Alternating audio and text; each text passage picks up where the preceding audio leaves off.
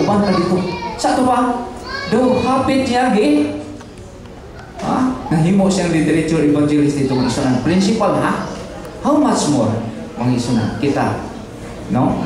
Mga, mga katong mula kayo fixed income, may isunan siya, may fixed income siya, pero nahimo siyang literature evangelist atong dapita. Unya, mga isunan, naghatag siya kahayag na atong dapita.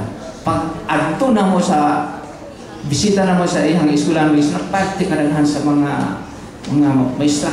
Kay mura to ang usa sa high school na dito nga dapita ang influensya niya magisunan nakatabang gyud sa buluhaton sa Ginoo. Tako kayo ang influensya niya. Ang mga tao dito mga labi na mga teachers dili mga prejudice. Nagkuha siya sumal